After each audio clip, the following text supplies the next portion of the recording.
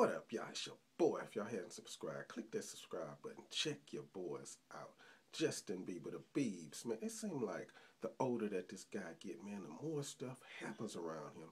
Y'all know he not with his girlfriend no more, and it's a whole long list of stuff that's going on around Justin Bieber. What's what's really good with that, man? But anyway, he was out playing with his kid sister, I think a kid brother whatever, with a, a, a Nerf gun. You know, one of the little toy guns, the soft, that shoot the little soft stuff out. Ain't nothing wrong with that, man. It's it's good spending time with your brothers and sisters, man. But somebody else, man, apparently, allegedly, or whatever, got hit with one of the, the, the Nerf little things from the gun now. Look, man, I don't think it's that serious, man.